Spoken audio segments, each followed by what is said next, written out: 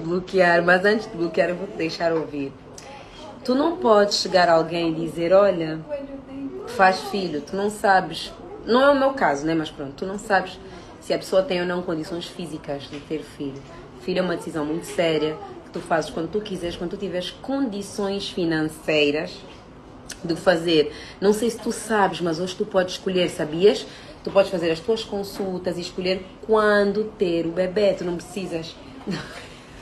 Tu não precisas fazer filho por causa de cobrança, por causa dos outros. Fazes quando tu sentires que o teu corpo está preparado, que tu, que tu queres fazer. Ou algumas pessoas fazem sem querer, outras usam método anticoncepcional e depois deixam de usar, preparam o corpo, olha, preparam o corpo, deixam de usar e têm filhos. Então, acho muito feio uma mulher entrar num, num, num direto e dizer à outra vai fazer filho, pá.